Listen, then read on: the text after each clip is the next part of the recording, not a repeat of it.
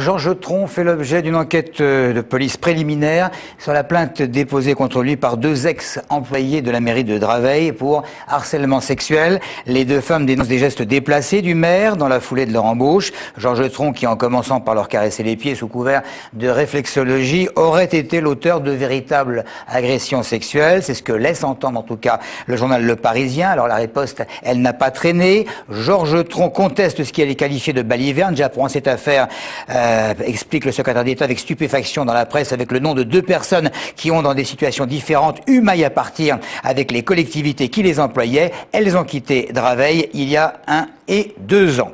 Voilà donc pour cette affaire. Ajoutons que euh, l'élu essonien et secrétaire d'État observent que, je cite, cela vient de Maître Collard, qui est, explique-t-il, un proche de Marine Le Pen, avec laquelle je suis en conflit depuis des mois. Fin de citation. Georges Tron a donc déposé plainte pour dénonciation calomnieuse.